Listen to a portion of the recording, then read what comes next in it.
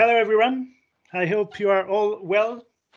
I'm Brian Howells from FIH. I'm very pleased to see you today for this online gender equality workshop organized by the Pan American Hockey Federation and the FIH.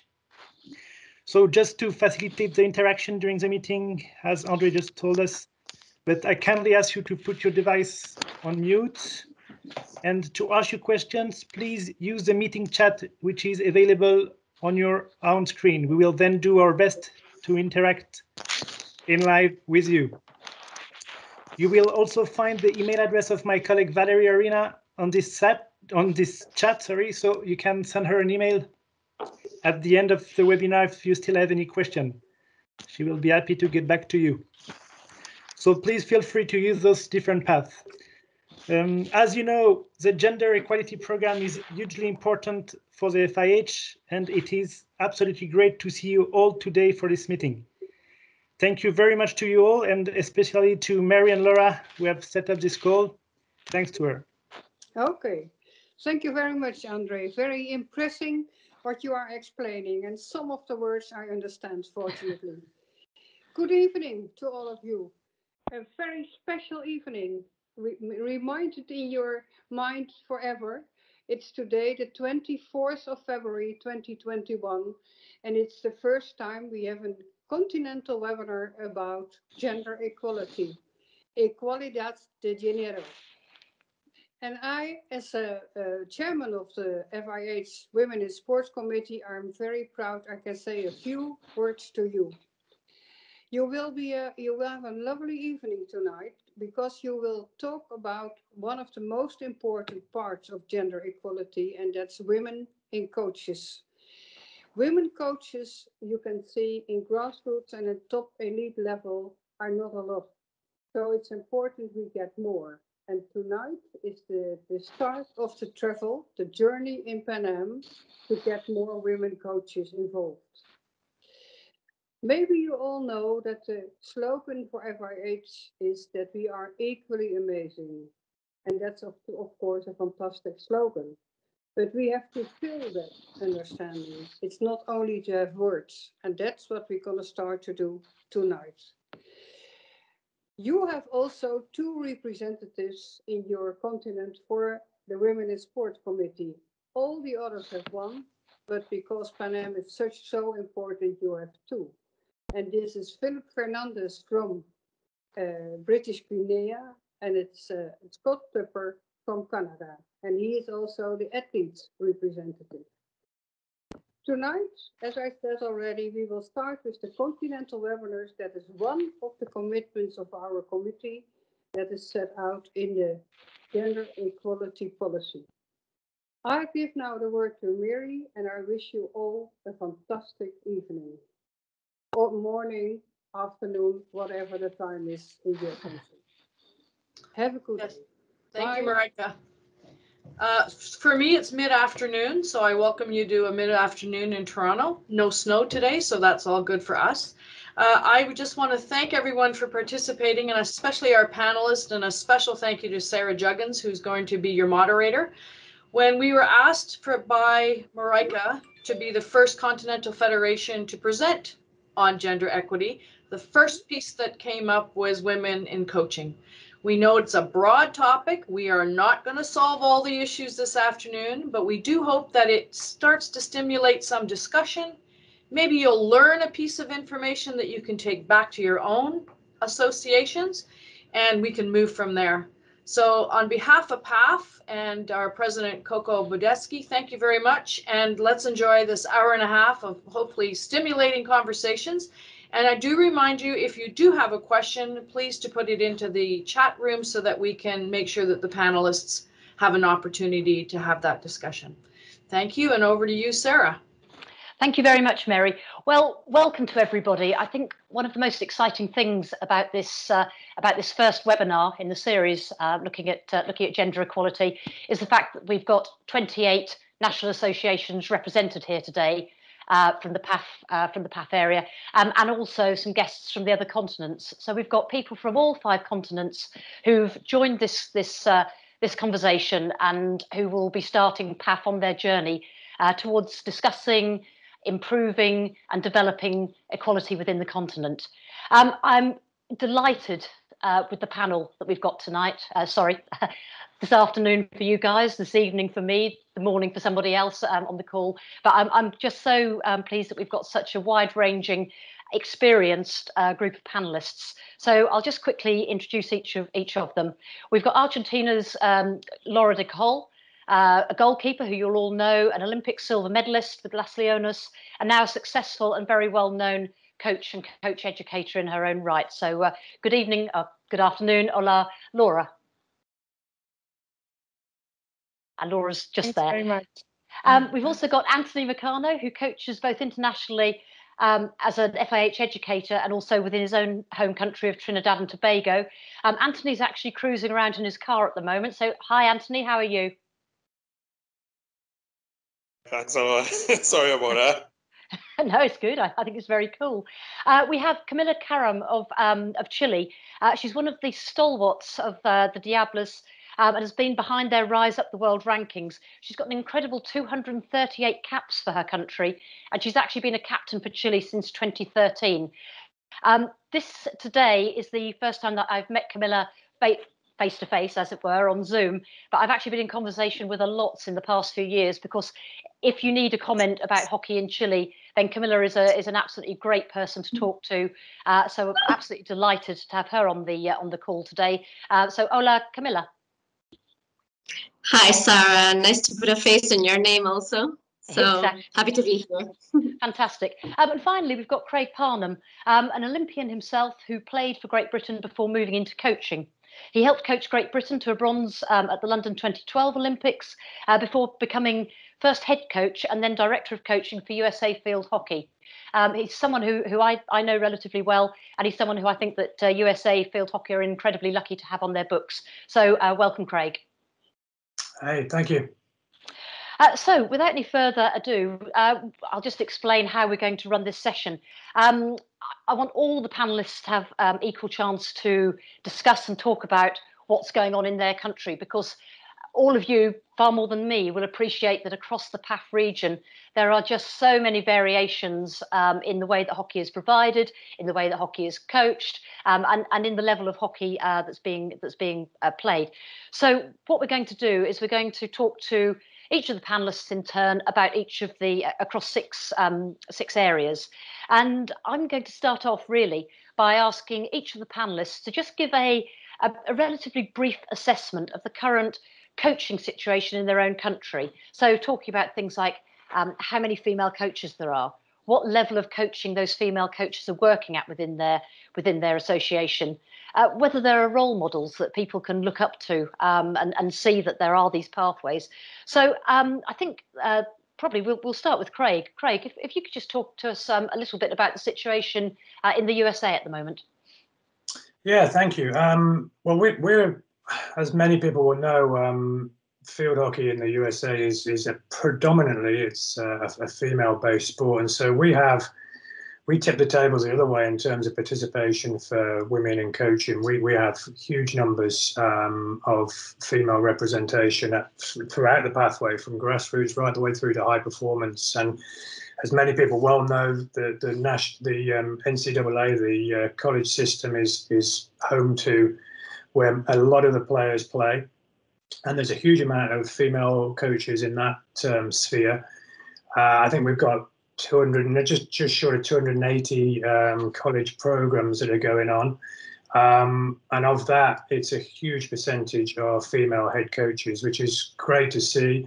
Um, and that that kind of puts us slightly as an, as an anomaly, really, for, for the conversation we're having tonight. But um, that that's driven by our domestic situation and that the NCAA um, female hockey is in the college system, male hockey is not, and and so um, there's been a rich history of development and pathway for for female coaches, which we're very proud of, and we continue to support uh, as as much as we can. But um, yeah, I mean it's very unusual. I find about 80 85 percent of female coaches in Division One programs are, are, are female head coaches.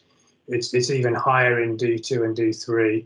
And, and many of our club owners um, are are female owned, owned and operated. So um, we we uh, we we know we're a little bit of an outlier in terms of the rest of the population. As Marijke was saying at the start, that very few across the globe are filling the high high performance roles in in coaching. So. Um, we're, we're, we're able to provide programming across, as I said, grassroots right the way through to high performance. And and the question, the second part of the question about role models, I, I, think we're incredibly lucky here in the US. We have some outstanding role models um, for our female players and, and for our coaches. And our, our, pathway often has traditionally been that players come out of the, you know, to come out of the playing area of the high performance level and they find their way into coaching. And that's been a, uh, almost a tradition that we've seen through um, through US women's hockey for many, many years. And that has meant that there's a there's a, a huge amount of experience in the pathway, and we can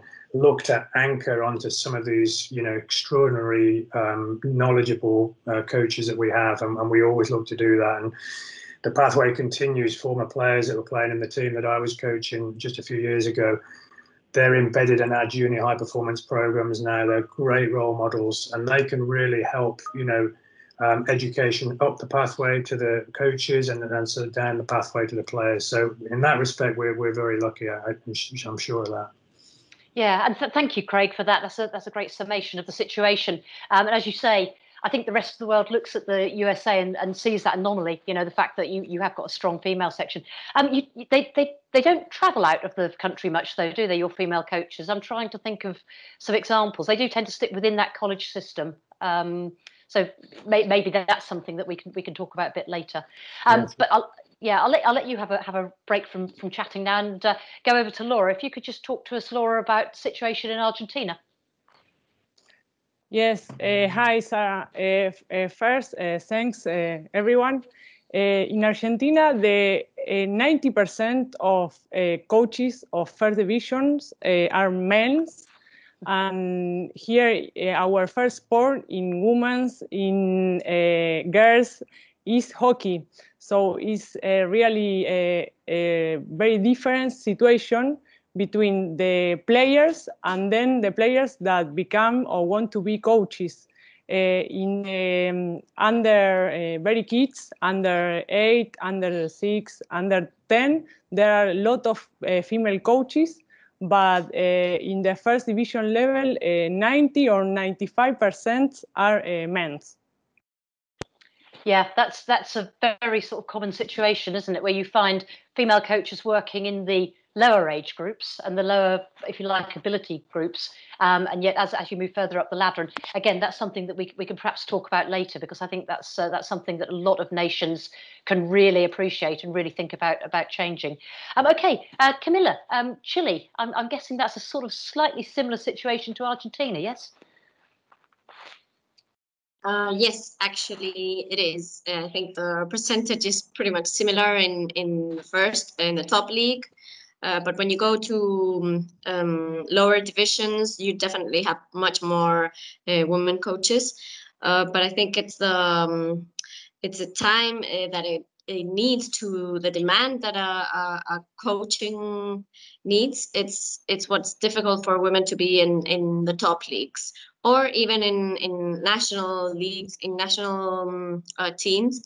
So that that I think is a is a hard time here in Chile we don't consider, or there are not many women that consider it um, their first option to be a career, to make a career out of uh, training. So that's what we're trying to change uh, nowadays. Thank you, thank you. Yes, and and again, we'll we'll come back to that that point and and discuss it a little bit further. Um, Anthony, uh, you're out of your car now? Yes, I am.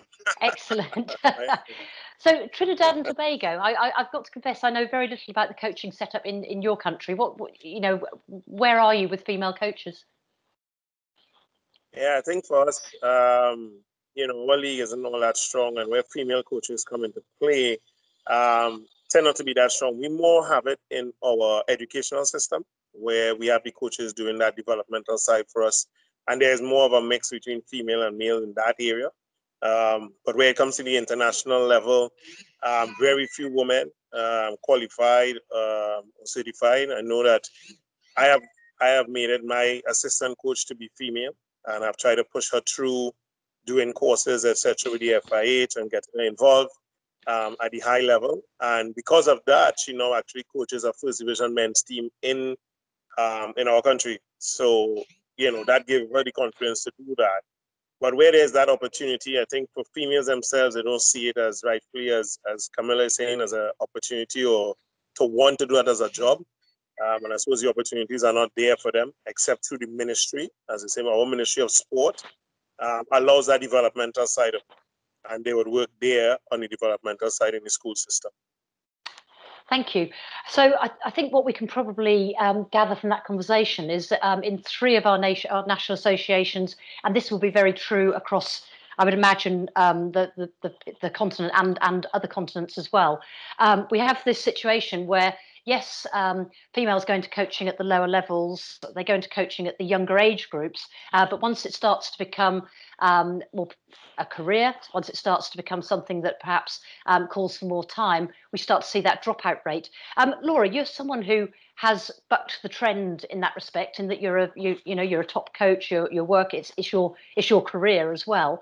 Um, what are your thoughts on that? What what are your what are your thoughts on why females don't necessarily see coaching as a career? Is it is it a tradition, or is it a lack of, as we spoke about, role models, or is it a lack of opportunities, or is it the time that's required? What are your thoughts on that? Well, uh, today with the six months uh, old baby, I can continue working in my, for example, in my goalkeeping academy in the university from the first months of her birth, thanks to my family organization. It is uh, difficult in Argentina to organize when mothers uh, have three months of license when the baby born and fathers uh, three days. Uh, there should be a law uh, to, equi to equal this, the, the situation. Uh, an example uh, could be the, I don't know, Scandinavian countries. They have uh, one year of license and they can divide six months the father, six months the, the mother or the parents. Yes, at least three months, each one with the baby. I think this is um, uh, the, the difficult part of organization in a family when you, you don't have any help or I don't know, or you don't have the, the, the money to pay uh, nursing. Sure, I can see that's really difficult. Um, and um, Camilla, as well, is it, it, it, sort of is it the case that um, coaching courses and also the intensity of the job itself aren't necessarily suited to somebody who's also got family commitments. You know and i'm thinking for example if you do a um, a, coaching course quite often it's over a week a, a whole weekend. Um, if you're a national team coach you could be away for three weeks four weeks even longer. So I'll, is that one of the factors that might come into females not coming into coaching at, at a higher level Mm, I'm not sure the the um, the courses are are the are the trouble there. I think it's something similar to to what uh, Laura said. Um, here, the societies, um, well, it doesn't doesn't help very much uh, the mothers to get a career in in anything. I mean, you really have to be uh, passionate about what you like, and if if here in Chile, if somebody would want to be um, a hockey trainer, they they will be able to do it. I think we have a lack of also role models. There aren't that many um, female coaches uh, now at the top league, so it's hard to say. Okay, maybe I'll do it because she's done it. There's has, has to be somebody that does it first, uh, which we have now. I think for the next generations, it will they will have role models.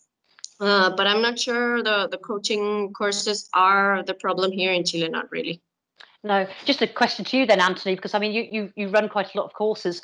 Do you, when you are designing or or um, scheduling a course, do you do you think around things like family commitments and, and the sort of the time that you're asking people to to give to the, to those those courses and that learning? Yeah, I think that's a, a key thing, especially um, you know one of our taglines down here is the future is female. And um, due to that, just that simple tagline, we try to get as much involvement as possible and therefore take that feedback in designing anything that we decide to design. Um, understanding that motherhood um, role that is played. um, but still also given the opportunity to whether um, create a facility where we could assist in that manner while they attend the courses. Um, so that's something that we look at very strongly in that essence. But we do recognize that that female, that that woman um, intuition with the with the children and the home by itself, as we look at things, you know, um, that's something that we always have a challenge with. Um, and we try our best to see how many um, we can balance off females to males in the courses that we make sure that we kind of touch on the same, um, you know, population sector. Sure. Um, thank you for that. And Craig, what do you think um, other nations can learn about the way that the coaching pathway is structured in the USA to allow women to progress up that career and at the same time run, you know, raise and run a family? Yeah, I can certainly talk to the first point. The second point about how you can successfully run your family is probably not my area of expertise. But um, just, I mean, certainly on the first point about coaching programs and coach education, as I said, we are very mindful of the whole pathway of coaching from grassroots through to elite.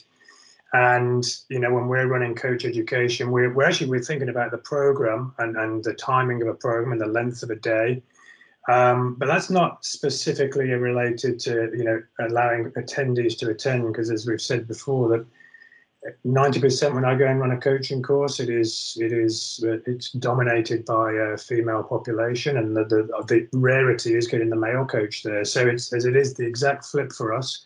Um, women over here, and and because there's so many career opportunities within schools or colleges or wherever it may be, they have you know, as as anybody does, they have to find time and, and schedule their days. And we had an example with a national team coach who was a, a great friend of mine and a former player who took on the national team in the interim period just um, a few few months ago, last year, year before, and and I was I just got a young child herself, and so there is, as Camilla was saying, huge stresses in the job, but it is um, it is possible. It's it takes obviously a lot of organisation and um, planning, but the support network that our coaches have here. I mean, I, I, don't, I can't speak for individual situations, but it, it obviously is working because we we are able to, you know, have coaches, female coaches in in, in pathway positions, grassroots through to elite. Um, so it's certainly it is possible. Um, our coach education, we've learned a lesson, like many people have in the last 12 months, that we're shifting a lot of our education opportunities to online and virtual. And that is really helping us. It means that I mean, our biggest event is National Coaches Forum. It's an annual event, um, and we had three times the number of people at our virtual forum. First time we've ever done it this year it allows people to join in live like people are now or yep. they watch a recording later on in their own time and so that's really really helpful for us we're, we're lessons for us and if other nations are thinking about the same thing as well we're now really trying to you know find the really best way of connecting with coaches virtually in terms of video review so coaches can send us video we can assess their performance and give them feedback via video we're, we're working on getting that as robust and, and as good as we can, but that's probably the next thing for us, certainly. Yeah, I mean, I think that is such a great point, and it's if if anything positive has come out of the the whole pandemic, it's the fact that it's pushed that online learning forwards probably by three or four years, if not more. Now, Laura, um, I, I, know um, that you have taken a lot of your courses on, or you you took quite a lot of your courses online. What was the reaction to that? Did, did you find it a, a big success? Uh, yes, uh, my experience as uh, educator of the Academy and the Pan American Hockey Federation is really very positive because it gives it gives me the opportunity to sharing knowledge with male and female coaches from all over the world, always with equal relationship. And because of the pandemic, a lot of coaches, for example, from Argentina, that I know from my city, uh, could uh, access to these courses and they are very very happy because uh, here we don't have a lot of online uh, coaching courses yeah and the same for you anthony i mean it, it must also cut down on travel time for people it must make um, your, your coaching courses more accessible across the, the entire continent um, i mean that, that is a good thing but I, I guess the flip side is you do also need that face-to-face contact Yeah, I think uh, you're making a very valid point there. We do as coaches, you know, as coaches, we always want to have that contact and you know, to get that feedback and that that sort of aura around us. Um, but yeah, it has created a situation where um, the online learning has definitely benefited, and I, I would kind of piggyback on Craig that we have had numerous improvement in our numbers attendance based on that online um, learning you know. Um, it also gives i mean you, you, find people and, even more females now could attend even if they are seen about the household or they are seeing with the children they could still be online and still be taking in what is happening and give them the opportunity to that instead of having to yeah jump in a car and travel to a certain situation or a certain location to be able to take the same course so i think we um, generally you know i always take hats off the PAHF and the fih for actually jumping on board so quickly and having things online for everyone to be a part of and to see that um, improvement. I can say on my end, there are a lot of people now that have been doing a lot of the course, um, courses online um, and therefore getting more involvement with female um, coaches to actually participate in things when we send it out now. So it's more yeah. accessible. So yeah.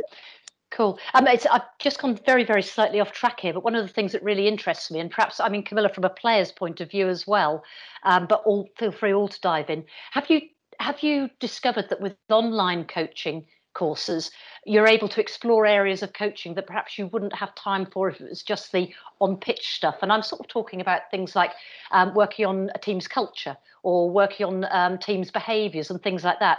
Things that when when you're on the pitch and you've physically got a hockey stick and a hockey ball and people running around, you perhaps don't even have have have the motivation all the time to do that. But so Camilla, I'll come to you first. Have you found that your team, through online discussions, have actually changed in cultural outlook a little bit, maybe? Um, yes, definitely, and especially us. We have a coach that likes to talk a lot and create this create this um, team culture. Um, so he had lots of time this year to to create it uh, throughout all the all the discussions that we have, and I think it was a good opportunity. That sometimes in the pitch, when you have two hours only just to play hockey, and you have to pay for the for the pitch also, you can't take the time there. So um, we, we realized that those moments are as important sometimes as uh, as the training as uh, training in the field. So we um, we were able to to uh, to take that time and, and improve in other parts of the of the team. Fantastic. Um, Craig, um, Craig, you're nodding quite a lot there. Is that that's a point that you obviously agree with? Yeah, definitely. I think um, you know the flexibility of coaches and players over the past 12 months has been critical and um, you know stumbling around at the start to try and figure it all out but um, I think the opportunity to develop different areas has been presented to a lot of coaches and players and um, that that that's interesting to see. Interesting to see the pro league start up again and see how teams were moving around the field and I think we've seen it from another a lot of other sports about the increased injury rate after a you know a layoff like this and coming back from going from zero to 100. And so I think you know, we're very mindful of that as well, and we all should be as coaches and leaders about particularly youth players when they've not been doing as much maybe, and then they're coming back and they've been asked to play in multiple games back to back. I think that's an important consideration for us to, to be aware of. But um, yeah, there's a lot of opportunity on online, and whether it's developing culture, tactical acuity, whatever it is. But um, yeah, huge opportunities. Yeah, I think so. We, we can probably sum this this part of the discussion up by saying um, that people who are thinking about uh, changing the way that they offer their coaching should think about a blended approach, a blended approach of online and the actual on the field coaching and that will inevitably open up accessibility not just not just bringing more women into it but actually bringing people from outlying parts of the country, outlying parts of the continent, and, and making things more accessible. Which brings me on nicely, um, and I didn't even plan it, uh, to part two, which is identifying opportunities for um, coaching. So again, if we can just go around um, nation by nation, and you could just give me a little bit of an overview of sort of the courses that are available to coaches in your country, um, whether there's funding available uh, to, to support people, uh, what courses are available and how accessible they are. Um, so um, let's let's hit Anthony first with that question. Yeah, well, besides the the PANAM and the FIH courses, locally we have um, courses that we do we do carry out um, for coaches. We try to do generic and not specific sometimes. and then we actually go into it. Where funding is concerned, we tend to look a lot at the Olympic Solidarity as well to help us with those um, with those courses and to be able to have them um, available for everyone. Uh, but yeah, that, that would be our course. We have a level one and a level two um, for our local coach as well, which we tend to um, level ones definitely all um, all the coaches in the schooling system has to have that to actually be able to present um, the sport to the athletes.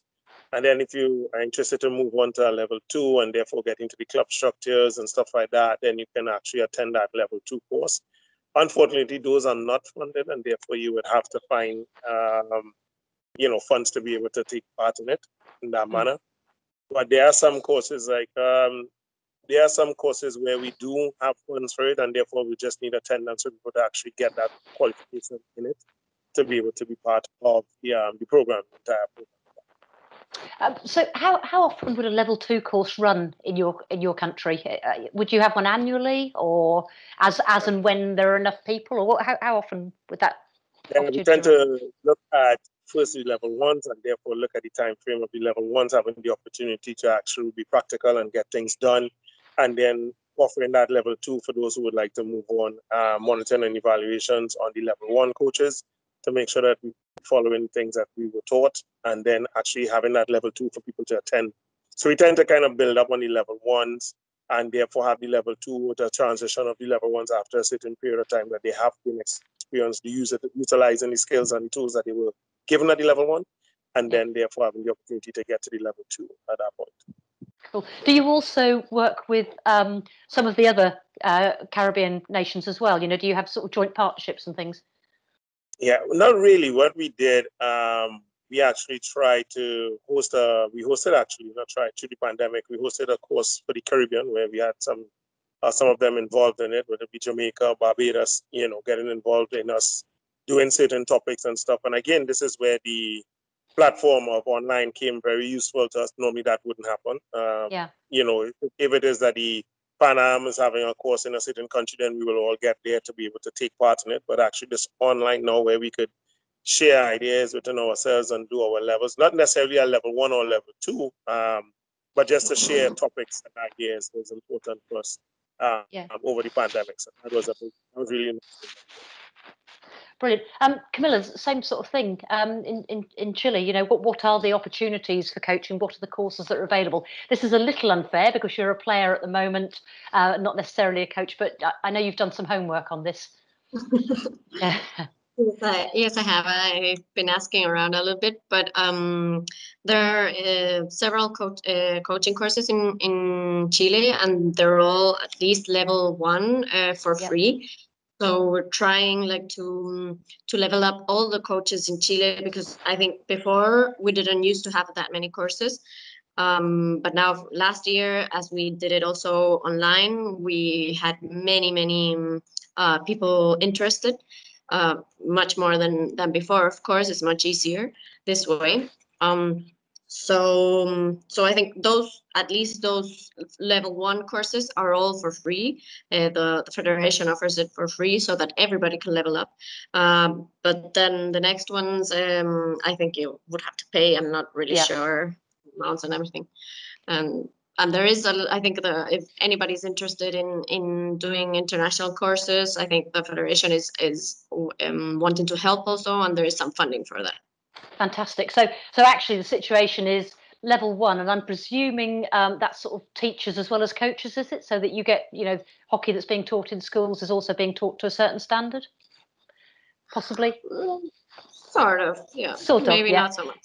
and and then level two, that would really be a coach taking it upon um, herself in this case to um, improve her own professional development. But then the, the, the national association then steps in to help push to the next level. That's that's the situation with with you guys. Yes, because there are I'm I'm not really sure because I don't know all the whole situation, but I think there aren't that many people interested in in going into the international courses in Chile.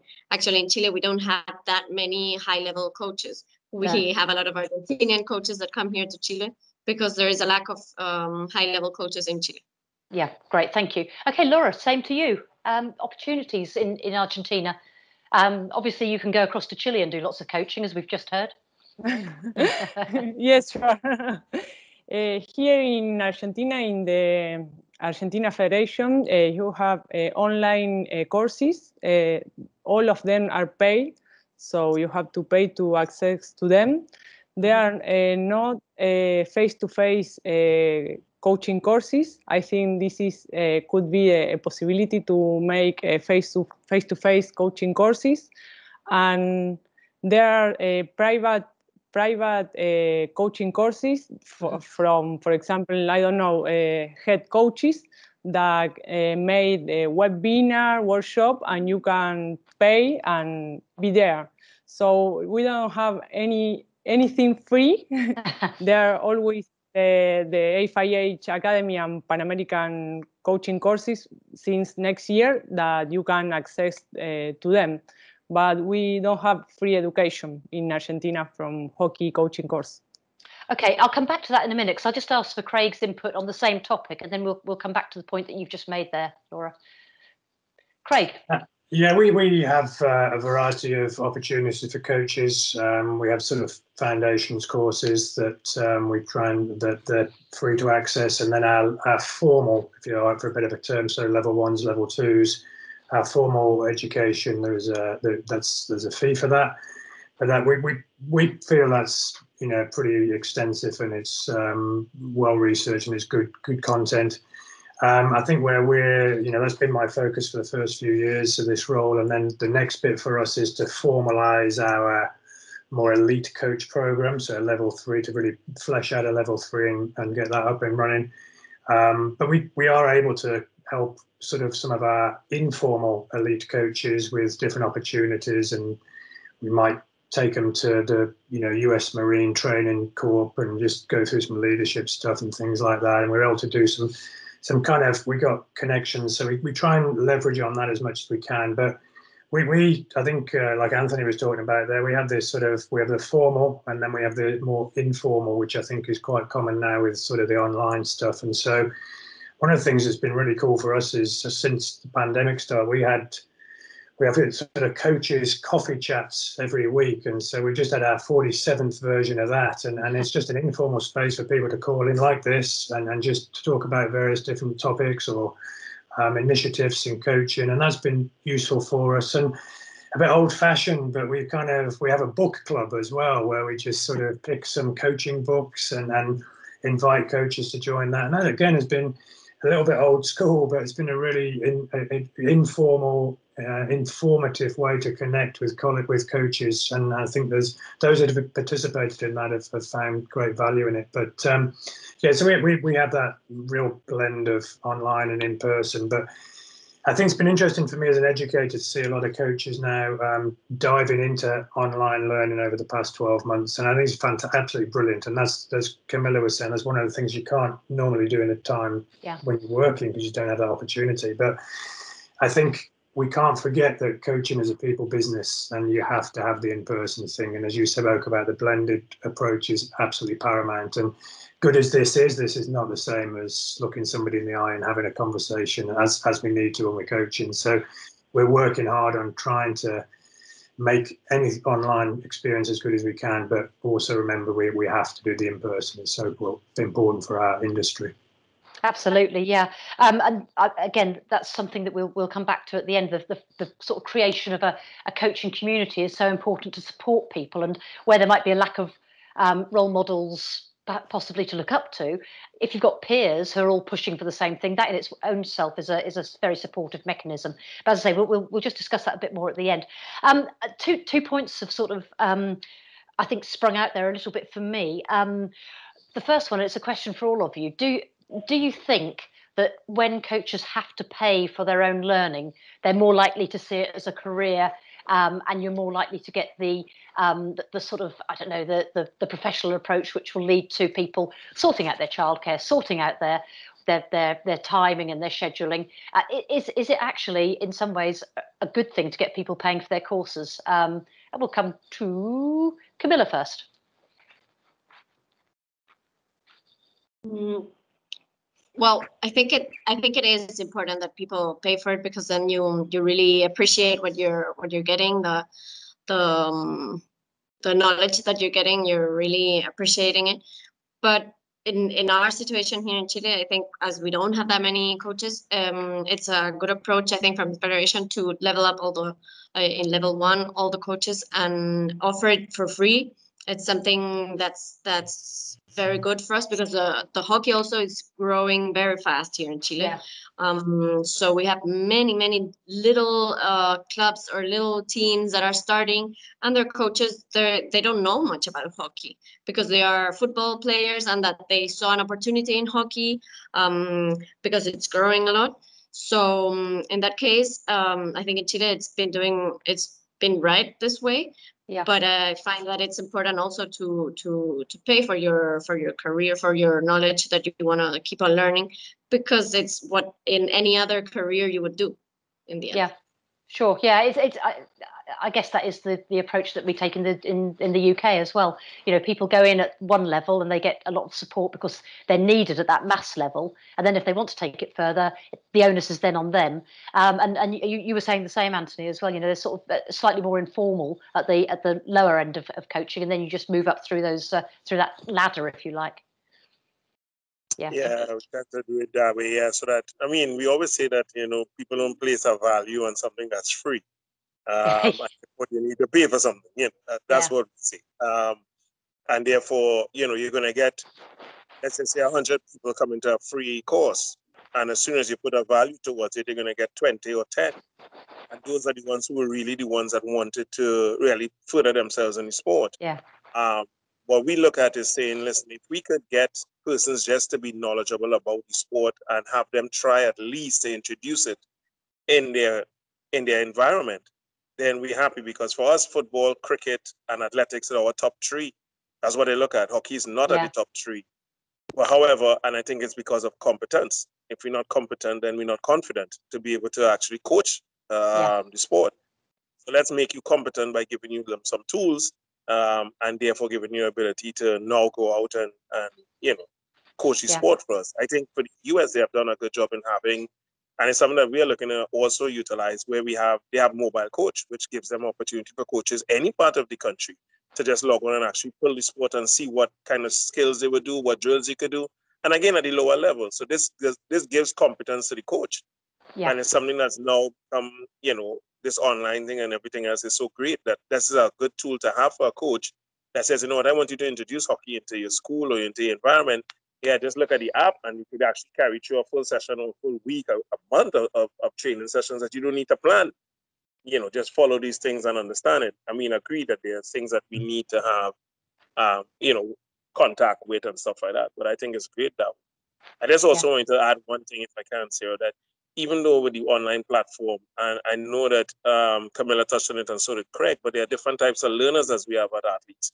And not all players can actually sit on a website on online for a length of period of time and understand, as opposed to wanting a hands-on approach to it as well. So we also have to look at those players that have the different types of learning abilities.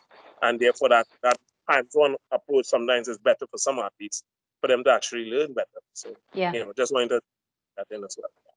I mean, I, I guess that comes down to as a as a coach knowing your players as well and knowing who's going to benefit from what type of coaching. And uh, you know, it- it's all about the individual athlete, isn't it, and, and getting the best from them. Um, the other point I was going to bring up from this discussion um, is the possibility of of doing um, cross border, providing cross border coaching knowledge and sharing expertise. And I, I guess that's the nub of what this webinar is about. You know, we, we're here, we're sharing knowledge between uh, at least four national associations here. Um, and we've, we've heard from Camila that, you know, Argentinians go and, and, and coach over in Argentina. Um, we, we, we know that people move around, but how much scope is there for um, maybe people to pool resources or to, to, to have mentors from outside each, each national association? Is, is that something that you think um, people would be open to? Um, if we come to Laura first on that, would, would, would Argentina be prepared to share their their knowledge, their experience, and you know their means of gaining success with other nations? Sorry, I don't don't don't understand the question. Would you would you um, as a as a, a coach from Argentina be prepared to share your knowledge and your expertise with Chile, with Uruguay, with with those other nations, and and and sort of to what extent would you be prepared to do that? Um, I, I, I, think um, here in Argentina, uh, we have this situation that if you want to work in, in a school or in, in university, you have to study the career of physical education teacher and you can uh, coach in the school or in the university. But if you want to work in a club, you only could be a player without studying nothing and you could be a coach. So uh, this uh, the, the situation that we have in, in Argentina that a lot of clubs have coaches that never study any courses, right. any coaching course, any career, nothing. So I, I think uh, that it is really important to prepare because you are going to be in front of people, uh, educating people.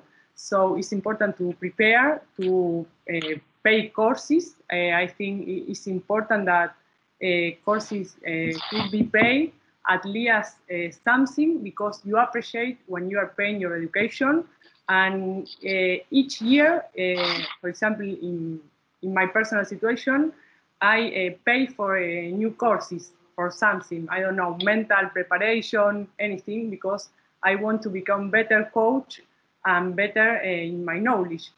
So I think that the preparation is really personal uh, if you want to keep growing in your career, career as a coach. Yeah. Uh, would you be prepared though, as a coach that's um, got plenty of qualifications, you've, you've, you've sort of gone through the coaching ladder, would you be prepared to share your knowledge with coaches from other countries? So if somebody from Chile contacted you and said, we need to um, improve the knowledge base of our female coaches. Is that something that you would be prepared to share with another with another national association? Uh, in my personal experience, uh, uh, for the FIH Academy and the Pan American Federation, I really I, I am prepared to share knowledge with other countries. But I think there are not a lot of coaches that are prepared but a lot of coaches, uh, if they offer a, a job, uh, maybe they go. But I don't know if they, they are really prepared. Yes, because it, it is uh, personal education here in Argentina. Is you you don't have a level one coaching course uh, no. Uh, obligatory to do for being a coach. So I think it's really really important to um, make uh, online coaching courses, face-to-face coaching courses and then uh, if there's someone of another country contact you, can uh, see your uh, CV and then then you've got yeah decide yes. Sure. Yeah. Same question to you, Craig. Really, I'm just sort of thinking um, about how possibly moving things forward in the future, that it might be possible to create mentorship schemes between a coach from one association that's doing female coaching, as an example, very well, working alongside a country that perhaps needs some support in that in that area. Is, is that something that you think is, is possible across the continent, or are there too many differences between nations? No, I think it's definitely possible. I think it happens. I think um, uh, all of us on the call, if we were thinking back over again, going over the past 12 months and what we've seen, what I've been incredibly impressed with is the openness of coaches to share. Uh, and that's not normal. That's that's sort of evolved over the years.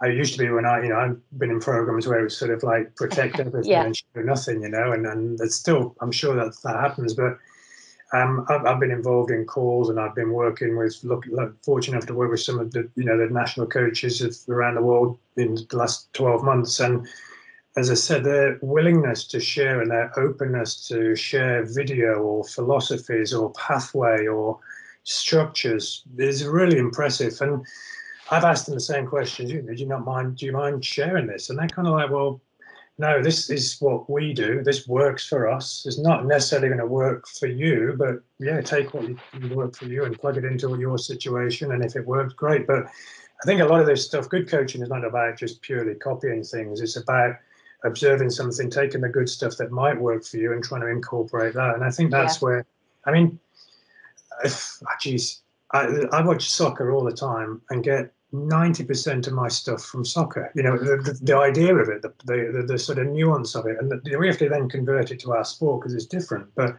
you, you can take so much from everywhere and everything that I think good coaches or co- coaches that are open to that um, will always take something. And I mean, who have any of us designed something unique? I mean, we, we, we sometimes do, but a lot of what we do is replicated from somewhere else or stolen or taken or borrowed. Yeah.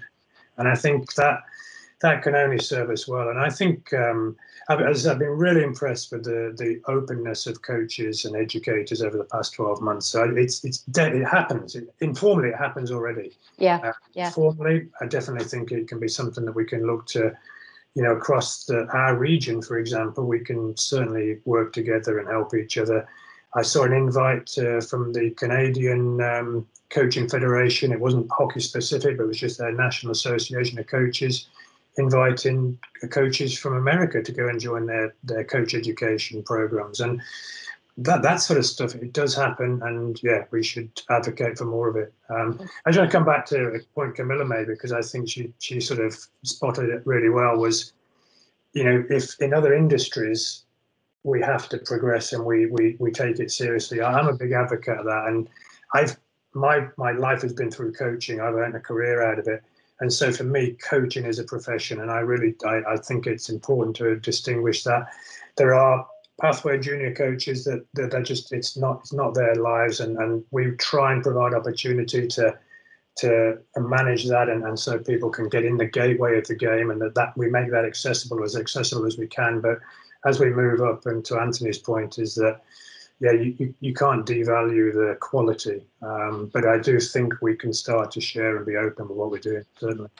Fantastic. Um, Anthony, just coming back to a point that you made earlier, um, hockey isn't the biggest sport in Trinidad and Tobago. Do you um, talk to coaches from those other sports about, you know, is, is there a, a cross sport sharing of knowledge as well? So it's not just from hockey to hockey, but hockey, you know, um, cricket to hockey and athletics to hockey. Yeah, we I, I, tend to do a lot of cross, you know, um, you know, that sharing of ideas. As Craig says, you know, I look at I look at football a lot, soccer a lot. I also look at basketball a lot and the defensive, you know, structures and stuff like that. So you look at these things to see what you could grab from it. But yeah, I actually have um, I have rugby players that come to assist my my ladies in, in, in footwork. I, I have athletics coaches coming to teach proper running forms, you know.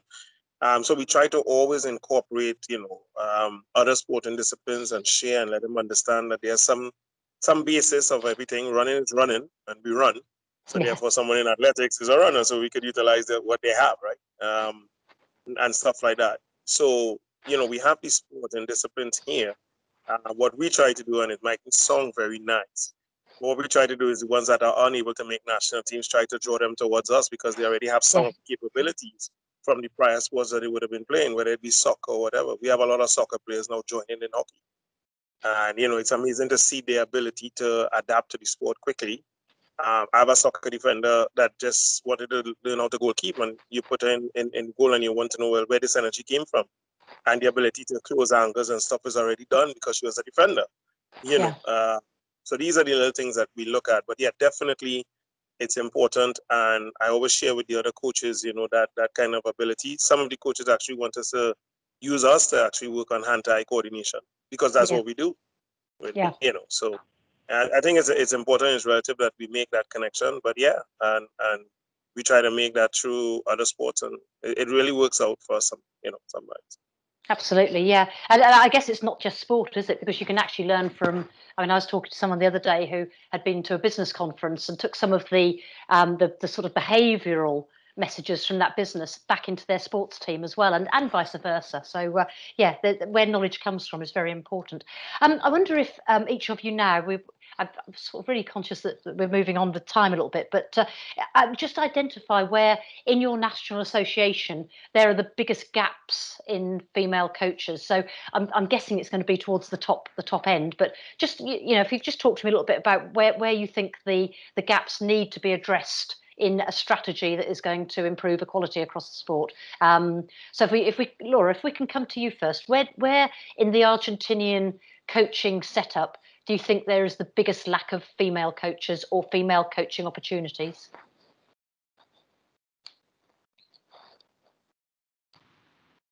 Yes, um, there are more uh, opportunities with uh, kids or uh, young girls or young boys. Yeah, this is our reality. In first uh, division level, there are not a lot of opportunities for and that's is that largely because um, a mother will take her child to a hockey practice and because she keeps going she'll get drawn into being involved and eventually she's just she's just handed a whistle and told you are the coach. Is that how it happens? I, I think that um, there are a lot of uh, female coaches that could be in first uh, division level, but uh, in, in clubs, uh, they need to give them uh, opportunities because uh, they, all the head coaches or all the, the, the staff, they think that women are better with kids, but it's not the reality for example, in the during the puberty, uh, there are a lot of uh, girls that uh, left the sports, different sports, not only hockey.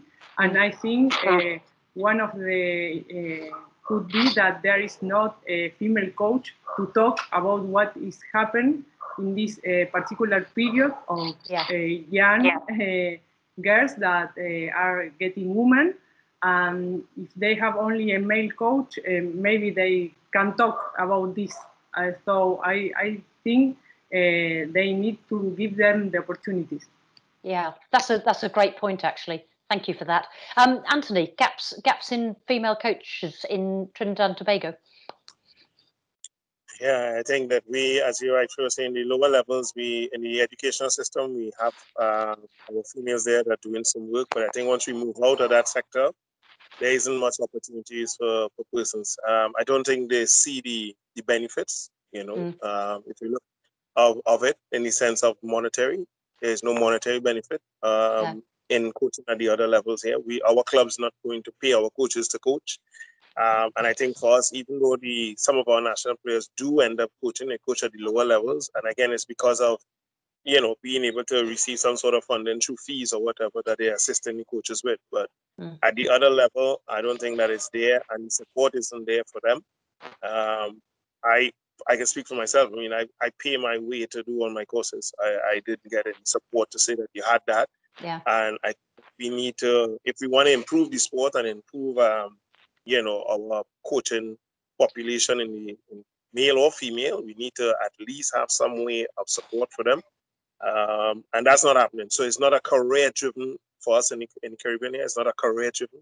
It's more of a give back to the sport for what you have played for your life, more or less, Yeah. stuff like that. So that that reward isn't available in the Caribbean for, for our coaches at all. So there, So uh, it doesn't seem to be a action for women to get involved much. No, so it's, it almost needs needs a mindset change, doesn't it? You know, it's it's not a case of you have to give back to the sport. It's actually, you know, what what you as a professional can give to the sport. Camila, you've just gone on your side there a little bit. I don't know if you can flip back to the right way up. um, I was going to ask you a slightly different question, Camila. I was going to ask you what your experience of being coached by females is. At what level were you coached by a female, and when did the when did the male coaches take over in your life? Um, when I was young, well, I had I had uh, different coaches. I had male and female when I was younger. Um, and, but I think um, I actually had a lot of male coaches.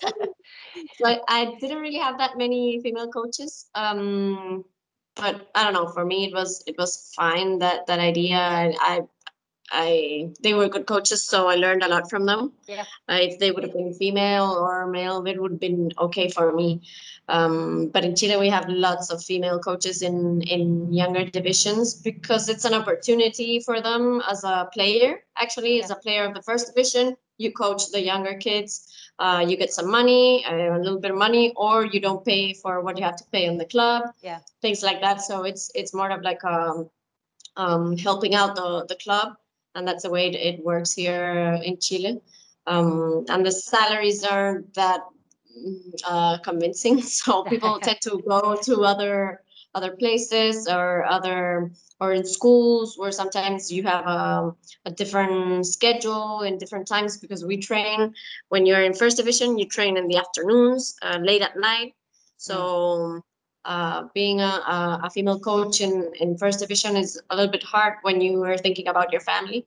So mostly everybody tends to go to schools where you where you work uh, during the day. Yeah. Would you ever consider a career in coaching?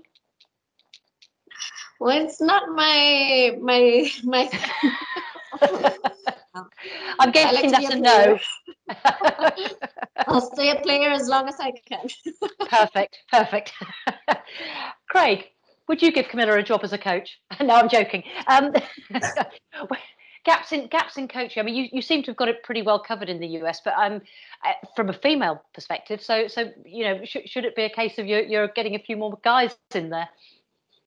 Um, yeah, firstly, Camila, you're right. Keep playing as long as you can. Definitely keep that in mind. Um, yeah, in terms of where we're, yeah, I mean, our, our, well, our challenge is to increase our numbers of males across our sport, whether it's players, coaches, educators. Um, and we've got, you know, we, we continue to work on that, and we've got um, some great initiatives around that. But it's that that definitely is a work in progress for us. But I think I, I would agree. I think our higher performance end is where we continue to try and you know provide opportunities for female coaching. Um, we, we are able to use some of the role models. I just saw as a, a, in the chat there's a question from Hannah there you know, if there's no role models, how can we sort of where do we start? And we, we are able to find role models. We've got some fantastic former players, as I said, going back many, many years that have been coaching. And if I look at our junior programs now, we, we we're quite strategic in how we try and appoint coaches. They have to be qualified and they have to bring something to the to the table. They they can't just they're not just sort of nominated and put in. But we've got players like I'm just in the group now. Rachel Dawson is a former player who's working with our junior teams. We've got Katie Bam, we've got Melissa Gonzalez. You know, the list goes on. There's a, a huge group of you know well-known, iconic American players mm. that have given back and back in the sport, and that's fantastic for us. And I think the idea of advocacy is important, and I think mentorship, advocacy, whatever you want to call it, I, don't, I don't think that is necessarily mutually exclusive for female to female. I think you can have male advocates that can advocate for female coaches and mentor female coaches, and I think that's a good place to start. Is don't necessarily feel we have to see, you know, somebody like I'm, I've, you know, Sarah. I've been very fortunate to work in coaching staffs with female coaches, and I think they bring so much to any staff. And Karen Brown is an example of somebody that when I was with GB absolutely integral to that staff when I was there and, and subsequent in the Olympic gold medal team.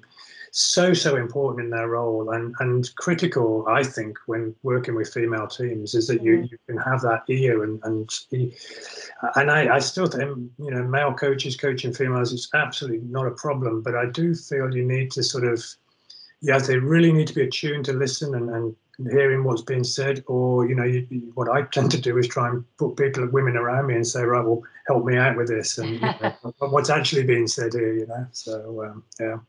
Yeah, I mean, this is this is a question I'm just sort of throwing in here a little bit, really, just based on a few things that have been said. Um, do we think, as a as a collective panel, I mean, do, do we think that female coaches and male coaches do bring different qualities? I mean, should there be not just a blended approach to learning, but should there be a blended approach to coaching a team as well? Do, it, does a team benefit from having a female on the coaching staff as well as a male to deal with exactly the sort of things that Laura was talking about? You know, actually understanding what a female is going through at any particular point in her life, um, a different intuition. Um, are there are there different qualities? So if we go round, I'll I'll come to Anthony's nodding the most, so I'm going to go to Anthony first. Yeah, I, I kind of understand that because I am a, I'm the male coach and I'm surrounded by women. Manager is a woman, assistant coach is a woman, um, assistant manager is a woman. So I kind of understand. I kind of you understand. You couldn't do anything but nod, could you? Really? but I do understand, Craig. You know, because there's so much that we know, and there's so much that I keep learning um, with with you know having them around me and understanding uh, what's happening. Sometimes, sometimes you know they they bring me back in line. So yeah, I kind of think it's important that we have that as well as a learning exchange. So it's an exchange of of that, um, and I think that is what had encouraged one my assistant coach to actually take a male team and decided that she felt confident to be able to coach a male team and just the exchange of knowledge and stuff like that. So you know, I wish I could have more females doing the same thing and just going out there and coaching, um, and not just looking at it on the development level to make make money, you mm. know, but actually see it as a career of sharing knowledge and sharing the information learned.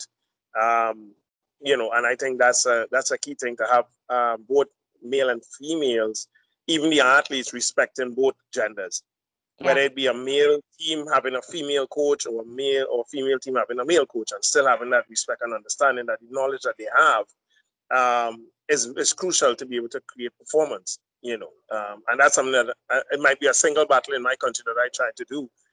Um, but it is what it is here. Um, and I try my best to still educate um, athletes and coaches to be able to go out there and have the confidence to be able to coach uh, in that manner. Yeah, fantastic. Laura, how do you feel about it? Do you do you feel that a team can benefit from having a blend of a male and a female coaching staff? Um, yes, I have a, an experience as coach of the under 18 uh, national uh, team for the youth uh, yeah. with uh, girls yeah. and boys. I was part of the staff coaching uh, and was really good uh, opportunity to work with total freedom and always with communication with uh, all the other coaches. And we were uh, two women and eight men.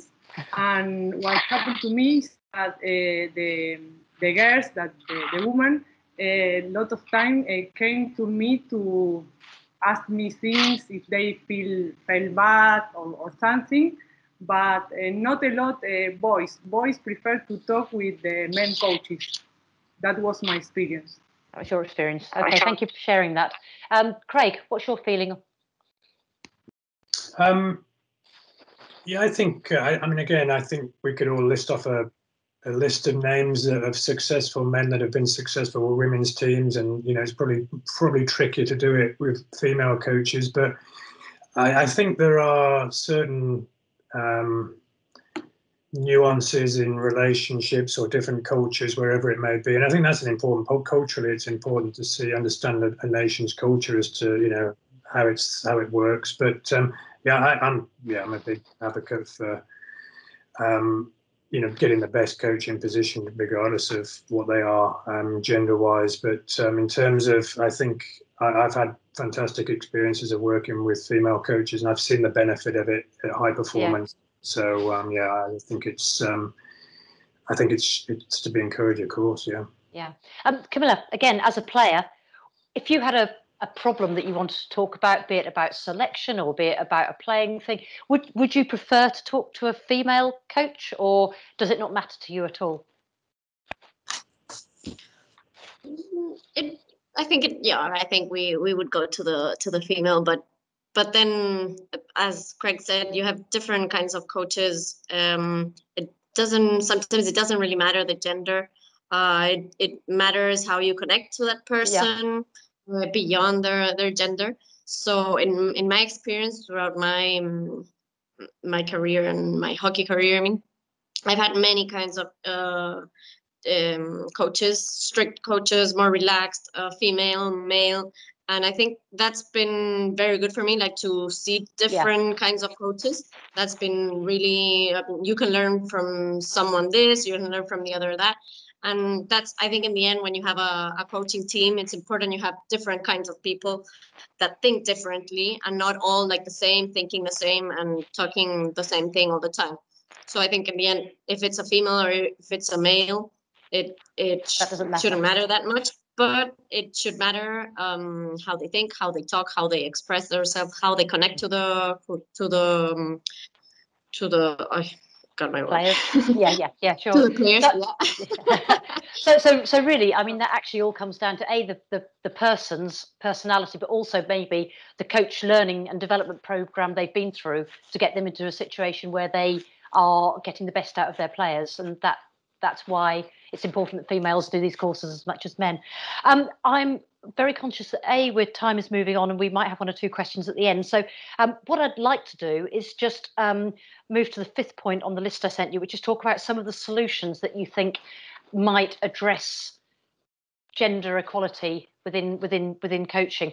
Um, so not necessarily what would work in your own country but based on the discussion we've had what do you think might be? Um, I'm going to say a panacea, although that's obviously uh, um, a difficult one to achieve. But what, what do you think might be a solution that maybe a, a nation can take from what, either what we've spoken about or, or your own thoughts on the matter? What what would you like to see change, alter, develop, um, be created that, that would just change the situation?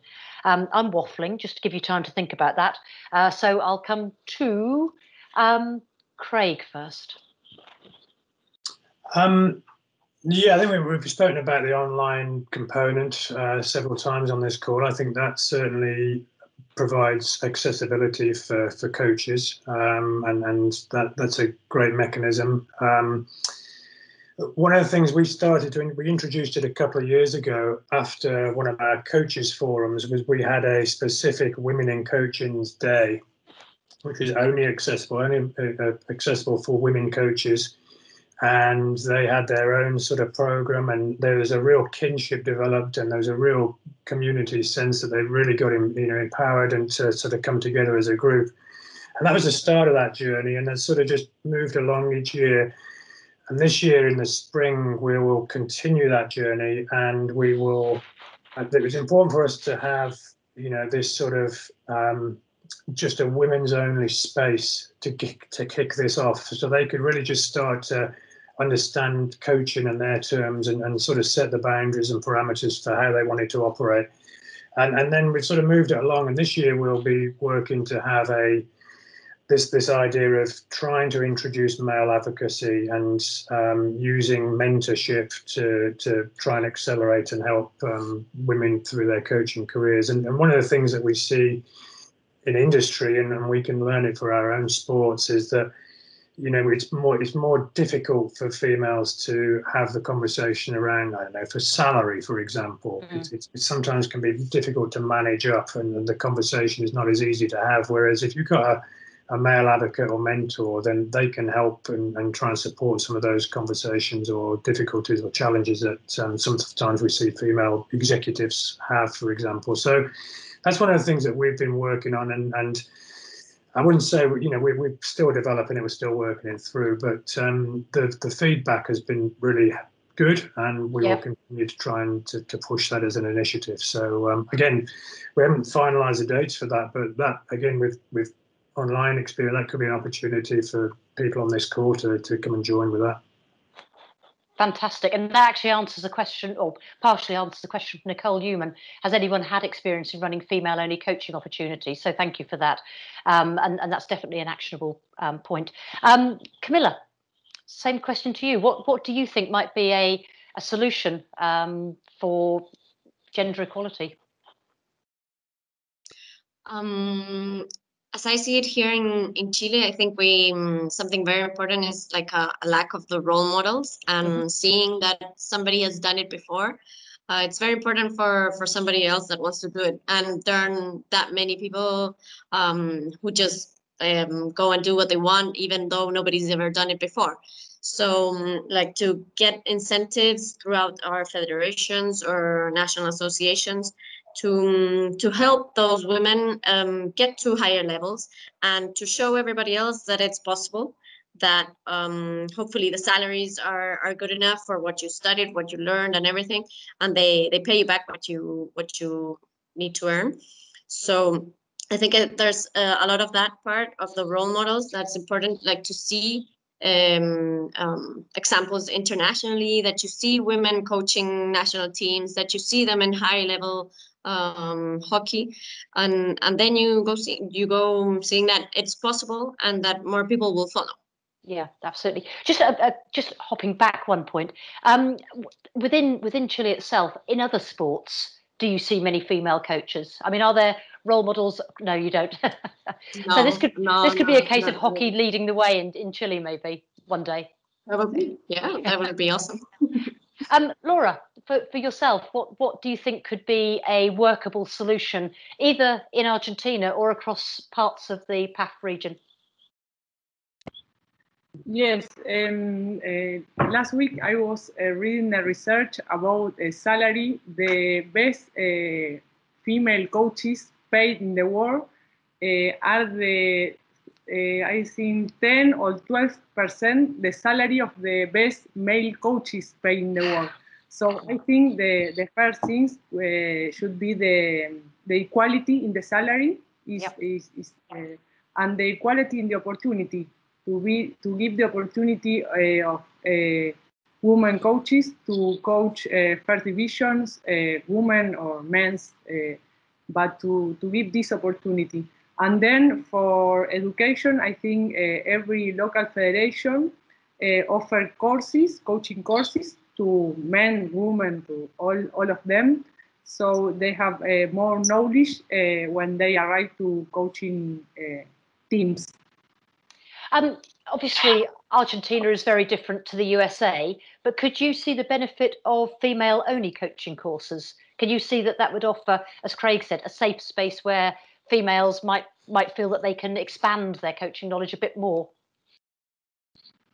I think uh, the coaching courses, um, male, and female, it should be uh, 50-50 for me. Uh, not not uh, all women or all men, because uh, if uh, all are different coaches, all Mm. have their baggage, their experience, and you can learn uh, uh, of the other coach. So I think uh, they should be both of them, uh, men and women. Brilliant, Anthony. Solutions coming from Trinidad and Tobago. Yeah, um, I see it as you know, there's something that I'm thinking of that would like to see happen. Um, even though we're trying to create that coaches association um, with our coaches, not necessarily only in hockey, but also in um, in the essence of all sports. And if it is that we could create a forum for both um, a male forum and a female forum, and then a general forum where they could actually, you know, interverse with themselves at that point, I think Oh, he's frozen. Anthony, are you coming back to us? Okay. Uh, you hear me? We can hear you now. Carry on. Sorry. Yes. Oh, sorry. Yeah. Um, to, to actually do that, we're also looking at also having a manner of where we could have awareness done, so that awareness of females could actually survive in, um, you know, coaching and still being a mother and still being a parent and still Yeah. doing to work. Um, I think that's a big thing that we should be be focusing on as well, and maybe just teaching and educating how that is a possibility. Maybe with persons who are already doing it, so persons like Laura who are already doing it and actually teaching university, coaching, and as well continuing through their life as usual. What is Yeah. the process of doing that? How do we do that? What do we do if pregnancy happens, and, and how do I still go through that life, still wanting to, to do what, what is necessary? Um, and I think we need to make people aware of this prior to it actually happening, and therefore understand that there is a process, and there are people that could support you in that manner. Um, you know, where that is concerned. You know, uh, and I think that that's a key thing that, that that awareness we need to bring in the Caribbean that there is a life of coaching for our females, even though they are the breadwinner, you know, uh, household and, and senior with family and working and, and you know different things that are happening. Um, Yeah. And I think also educating our males to understand that there is that ability that we need to share. It's not just you know that that old thinking of the woman see about the woman. I don't believe in that kind of thing. I think that we have changed that mindset Yeah. and we should be able to understand how to share that responsibility as I think Camila and Laura was talking about. So I think that's important as well. So awareness for me in the Caribbean about how we can survive as coaches and still have an, you know, that A that life. that life. Yeah. Yeah. So we need to, um, from here, from this point on, we need to rent Laura out as the role model that everybody can look up to because she's doing it. Is that okay, Laura? We're going to rent you out. Sorry, can you repeat the question? Yeah, no, I was I was joking. I said we're going to rent you out as a role model. You're going Ah, to be okay, okay. um, that's that's absolutely fantastic, everybody. Um, all, to all the panelists there, thank you, thank you so much. Um, I'd, I'd made a little list as we were talking of um, of steps that possibly would be generic across the PAHF region, and uh, um, you, you, you basically all of you have, have covered all of those things. Um, maybe start with a women's only coaching group where there's where there's safety, but then male advocacy on top of that, and then quickly get into the 50 50 split that Laura was talking about, um, making sure that your coaches have got the correct characteristics, the correct um, training, um, the correct learning, so that it doesn't actually matter if it's male or female. They are just coaches who are respected as professionals. Um, we've talked about blended learning using online as well as face to face, and we've talked about the importance of role models, and we've talked about the um, the importance of, of, of, raising awareness of, of issues and uh, that, that female coaches will face and dealing with them. So. Um, I'm going to hand back to Mary um, with almost impeccable timing. We've got four minutes, Mary, to wrap up. I don't know if anybody um, has got any questions, but I would just, all I would like to say is I think there's some great things have come out from there. And I'd like to thank the panelists for being um, absolutely great tonight. Yeah, and on behalf of PAHF, I want to thank all our panelists who all were sort of hand selected, as I always say, voluntold. Um, I thank you for your time and energy. Sarah, as always, you did a wonderful job maneuvering everyone to getting Actually, I think eh, just the list that you provided, I think Marijke, you've got a number of new webinars that you can host that may can go that maybe go to the other continental federations that they can build on. On my personally for me and on behalf of the PAHF organization, thanks everyone for attending. Uh, it was it was wonderful to hear all the stories, and actually it was interesting to hear how many of the topics you talk about is so similar in whatever country you're in so that we're not all diverse as diverse as people think in when we come to women in coaching. So thank you. Marijke, over to you for the last goodbye.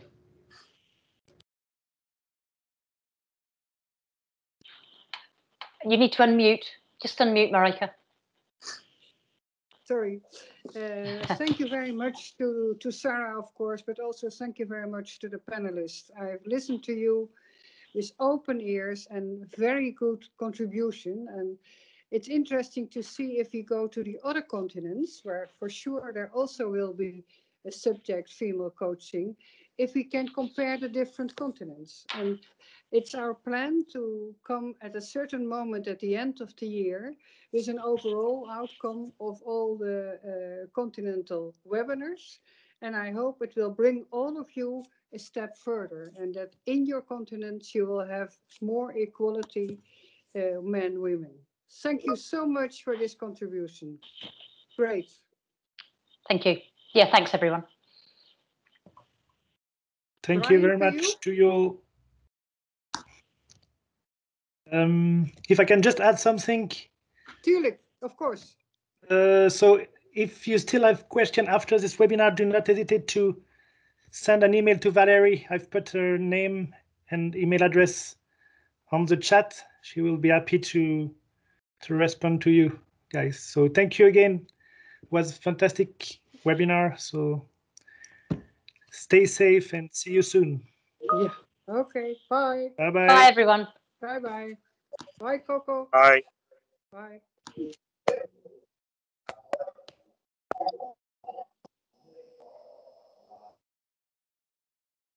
Goodbye. Thank you.